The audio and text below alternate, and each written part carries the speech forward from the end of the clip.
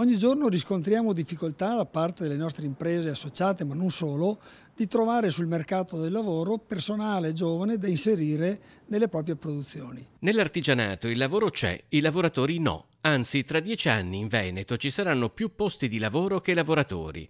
L'allarme lanciato dalla CNA regionale ha diversi motivi e richiede quindi diverse soluzioni. Il problema chiaramente da un certo punto di vista è legato alla demografia, perché giovani ce ne sono pochi, è legato anche a un aspetto culturale perché le lavorazioni manuali, il bel lavoro non è sufficientemente valorizzato. Come primo impiego il 31% dei giovani si rivolge ai settori commercio e tempo libero, l'11% ai servizi alla persona, il 10% al metalmeccanico. Una cosa è certa comunque, dicono i sindacati, il reddito di cittadinanza non c'entra. Io ho visto i dati del reddito di cittadinanza in Veneto, sono lo 0,00 e qualche cifretta.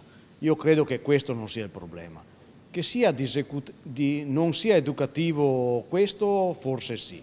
Il reddito di cittadinanza va bene per, quelle, per dove era stato pensato, va bene nel momento in cui una persona non può essere ricollocata. I ragazzi e i giovani non vedono interessante la nostra regione, quindi non solo il mondo dell'artigianato, ma la nostra regione. Eh, ogni anno 12.000 ragazzi scelgono di andare via dalla nostra regione e non solo verso l'estero, anche verso l'Emilia Romagna per esempio.